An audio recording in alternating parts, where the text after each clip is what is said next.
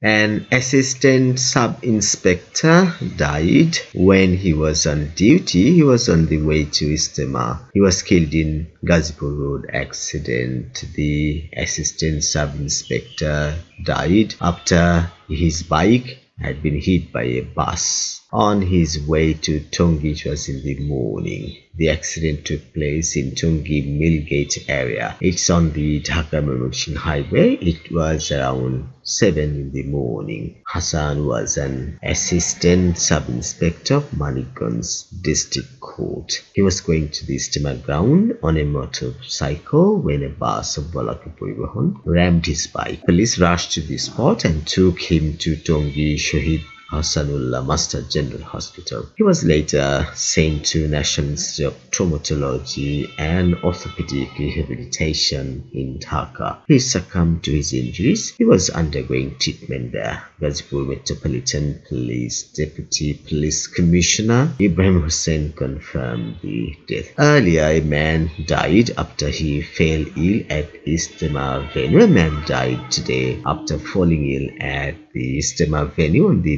bank of Turag. The deceased man named Abdul Sattar. He was 70. He fell sick at the venue this morning. Abdul Sattar was taken to Shohid Ahsanullah Master General Hospital. He was later taken to National Institute of Cardiovascular Diseases where the doctors pronounced him dead. Yesterday, another person, Yunus Mia, he was 60. He died on his way to Ijtema. The first phase of Ijtema is scheduled to begin tomorrow and continue till Sunday. Please subscribe to our channel. Thanks for watching.